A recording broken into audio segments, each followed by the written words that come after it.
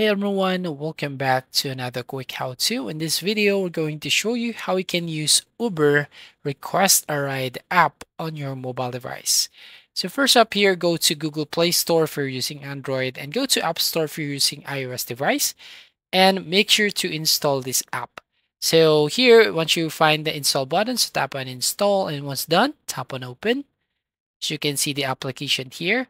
So first up, you'll find this interface. So as you can see, tap on while using the app to access the location. And then here, as you can see, move with safety. So tap on get started button. Now here, loading, and you need to enter your uh, Google account, Apple, or email. So I'm going to select continue with Google account. So here you can basically enter your mobile number. But in my case, I'm going to select my Google account. And then here you can select the location where you're at. So for example, here I'm going to select Philippines. And then you can now add your number. Now enter the four digit code sent to your mobile number. So enter right over here. So this is a four digit code. And once done, tap on next. And then here, as you can see, accept Uber Terms Review Privacy Notice. Now on the next page, as you can see, select your preferred payment method. So you have credit or debit card. You can select Google Pay, or you can select cash or gift card. So in this case, I'm going to tap on skip right there at the uh, top right hand corner. So you won't be able to request a ride without adding a payment method. So I'm going to tap on do it later right here at the bottom.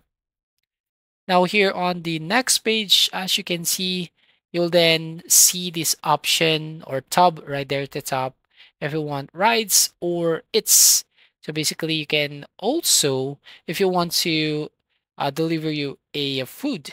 So here i'm going to use the rides and then here you'll find word to box uh, where you can actually select the location where you want to pick up.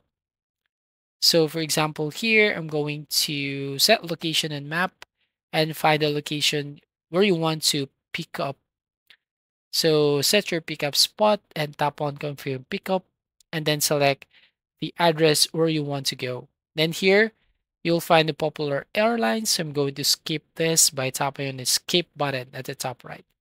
Now gathering options here, you have to choose a ride if you want Uber X or if you want Comfort or Uber X Priority or Uber XL. And here you will find also economy, which you can basically select Lime eBikes with local rates.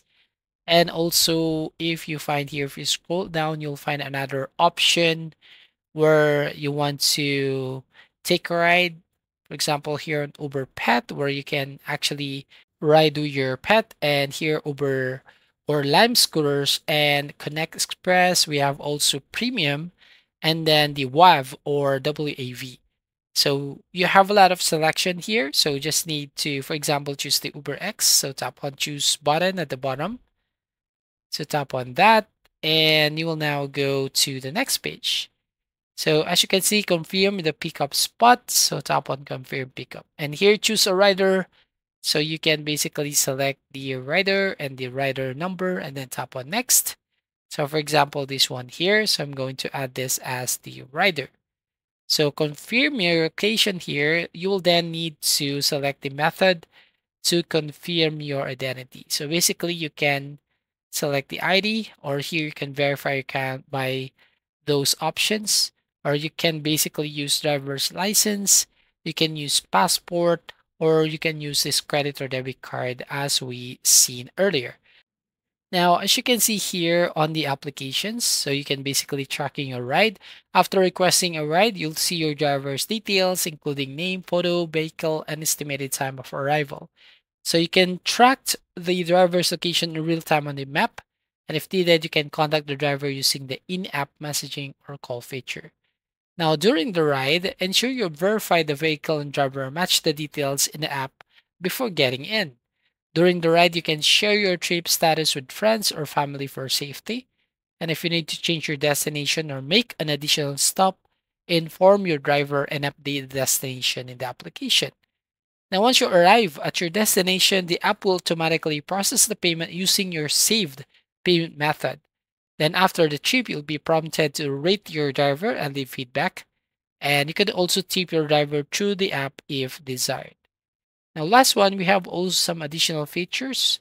You can explore additional features in the Uber app, such as scheduling rides in advance, Uber Pool or shared rides, and Uber Eats for food delivery. Access your ride history and receipts from the menu for expense tracking. So those are the features of Uber application. So you might need to download and install this to your mobile so you can better using this app. So that's all. Thank you for watching. Please like and subscribe and see you in the next video.